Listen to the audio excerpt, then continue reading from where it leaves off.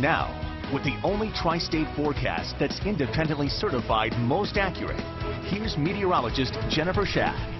A great Sunday shaping up. If you have any outdoor plans today, sunshine expected and dry conditions. On the WLWT radar, we have dry weather across the entire tri-state. There have been just a couple of showers from the bluegrass south into southern Kentucky, but they're drifting south and east and away from the region, and we will stay dry today. This is radar estimated rainfall over the last 48 hours. Wanted to bring it up to highlight the rainfall from Friday night to our northwest and the rainfall from yesterday to our southeast, but the in-between across the tri-state. We pretty quiet yesterday morning, a couple of downpours and a few sprinkles yesterday afternoon, but not much in the way of measurable rainfall. So our rainfall almanac from yesterday, nothing official at the International Airport. For the month, we are ahead already one week in, and we've seen over an inch of rain. For the year, we are approaching 32 inches of rain. We are ahead for the year by right around an inch and a half. So a dry couple of days, and then we'll bring back our rain chance as we head into our midweek. 63 right now. We dropped off this morning into the upper 50s. That dew point right now in the upper 50s is very comfortable. It'll stay there through the afternoon. A northeast wind currently at 7 miles an hour. Temperatures into the upper 60s by 11 a.m. Upper 70s this afternoon. Sunshine throughout the stretch today. I think we'll start to reintroduce a couple of clouds as we head into tomorrow.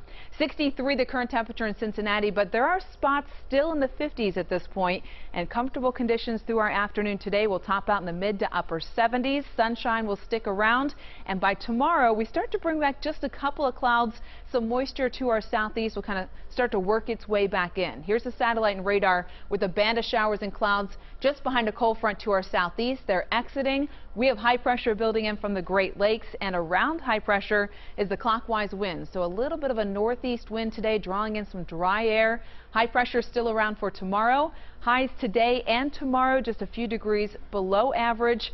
But notice the moisture that's kind of lingering along the Carolina coast. We're going to see some of it get sent back into our direction for tomorrow. So a few more cumulus clouds on Monday. We'll call it mostly sunny. And by Tuesday, we're talking partly cloudy. A little bit more activity close by, but probably not overhead quite yet. Still calling for a dry day on Tuesday.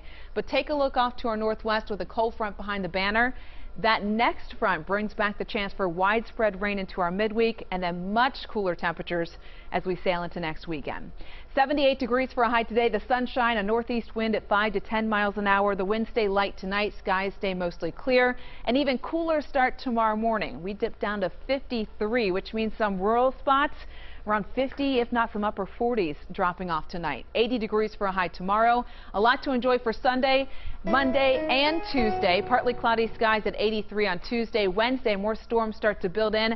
We'll have to watch the timing for that cold front. It does look like it has a lot of moisture with it and probably some stronger storms, but kind of fine tune when it comes in. Right now, it looks like the overnight Wednesday into Thursday. Behind that, some cool to uh, maybe even chilly air next weekend. Saturday, a high of only 66. Oh, yeah, Jonathan. 66 degrees on a Saturday.